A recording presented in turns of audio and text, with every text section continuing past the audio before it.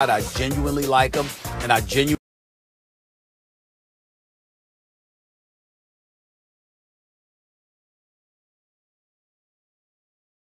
respect him as a coach, and I think anybody who knows anything about basketball has to respect him. But in the end, when you have a star like Jayson Tatum, and make no mistake about it, ladies and gentlemen, that brother is a star. Jayson Tatum is a star. And guess what? So is Jaylen Brown. The bottom line is you should be better than a 500 team. Now, of course, we got to look at Kemba Walker.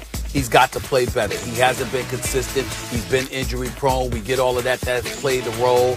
But in the end, he's got to play better. It's up to Brad Stevens to figure that out. And when I look at Brad Stevens, here's what I see. I see a guy that knows the game of basketball that can coach his butt off.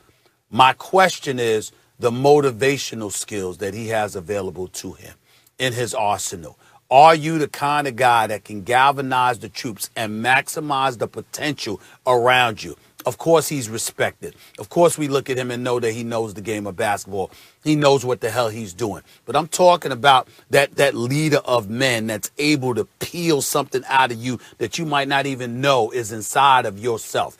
The great, great coaches figured out a way to do that over the years. It would be Phil Jackson, the Zen master. It would be Pat Riley, the winner within. It would be Mr. Fix It, the great Larry Brown, who doesn't get mentioned enough, who's a Hall of Famer. You know, the Chuck Daly's of the world, God rest his soul, and what he was able to do with the Detroit Pistons. The list goes on and on. The great Popovich, of course, we can't forget to mention him.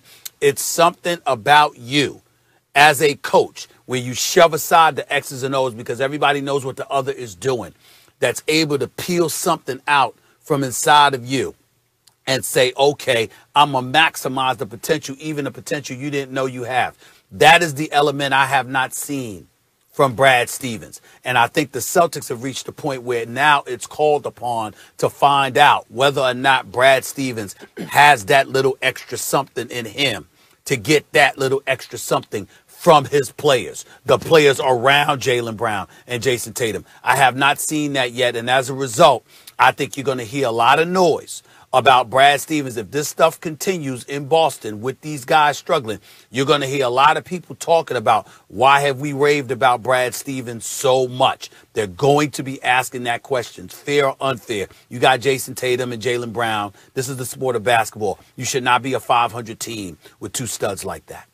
I don't think this is a Brad Stevens issue. You want to blame someone off the court? You can blame Danny Ainge. And Danny Ainge blamed himself a couple days ago. He talked about roster construction. He may have to make a move. I'm going to get to that in a second. You want to blame someone on the court? You can blame Kemba Walker because, eh, but it's, it's, which is, look, he has a bad knee. Kemba has a bad knee. And he is known as a tough guy and a real leader. And so my sense is that a lot of guys probably wouldn't be playing if Kemba's playing like this as a result to the of the knee. But of course, he wants to he wants to play through. Look, the Celtics, as constructed, they're a good team, and it's not that they're not a deep team. Like Robert Williams is that's a find. You know, he can really long and he can play defense. And and Theis is a good player, and they have good players. Marcus Smart, who's out right now, is a good player. But these are all essentially defensive players. When you look at the roster, it's not deep offensively. You have two excellent wings in Tatum and Brown. And you're right, Stephen, that's more than a lot of teams have. But a lot of other teams would have more depth in terms of various players who can score. Obviously, not on that level, but who can go get you some some points, can get go get you some buckets.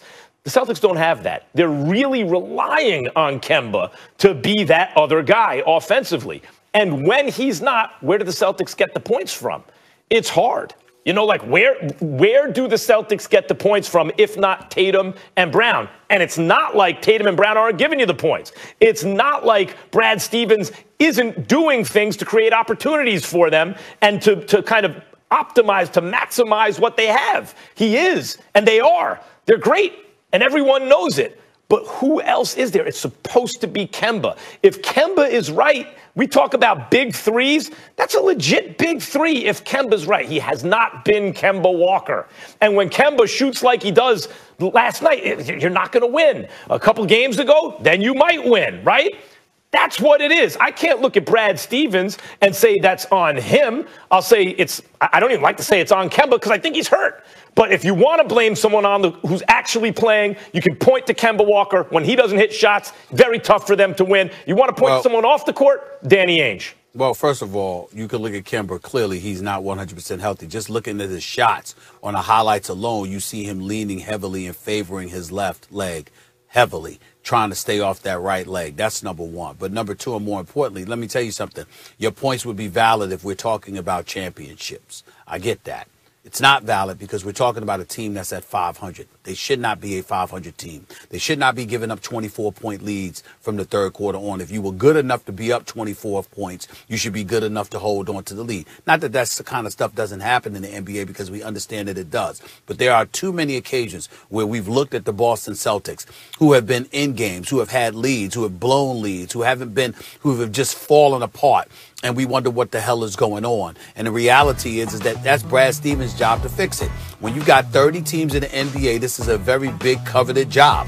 A lot of people want opportunities to be a head coach in the NBA. And if you have a situation where you've got two studs like that, you got to know how to close. You got to know how to finish. Now, they've been to a couple of conference finals. We get that. And Brad Stevens can coach. Again, nobody is questioning his coaching ability. What we're saying is, in the end, the personnel that you have available, are you maximizing the potential of all those guys around Tatum and Brown?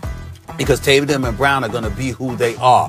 Who are the other dudes that are going to step up for you? What kind of system do you have? How are you utilizing the personnel that you have available to you, et cetera, et cetera? Anybody else we'd be asking that question about? Why does Brad Stevens get a well, pass in terms of asking those questions? Well, That's the I, bottom line. I wouldn't say he gets a pass. I think if you just analyze it, you have two guys you could look at to say, like, what's the Celtics? I'll give you be more specific you know, in terms of your point, I think it's late game collapses, right? Because it happened again, and this time in a huge, obvious way. Another late game Celtics collapse. And we can look at defense, but really, it's the organizer of the offense. It's the guy who's making the decisions. Marcus Smart is out, yeah. and Kemba Walker's hurt. I think really that's what's happening as far as that goes. Yeah, but they started off even before Marcus Smart got hurt. They started off the season. We didn't like what we were seeing from Boston um, at the very, very start of the season, oh, and then we then we blamed the bubble. You know, we knew Kemba was out, but we blamed the bubble. And such a short, you know, the season ends in September for them, and then they come back and they play in December. No. No, a whole bunch of other coaches don't get that excuse. Brad Stevens not going to get it either, and I respect him. The hell, I respect right. the hell out of him. Uh, you got to do it. Boston, Boston ranking out.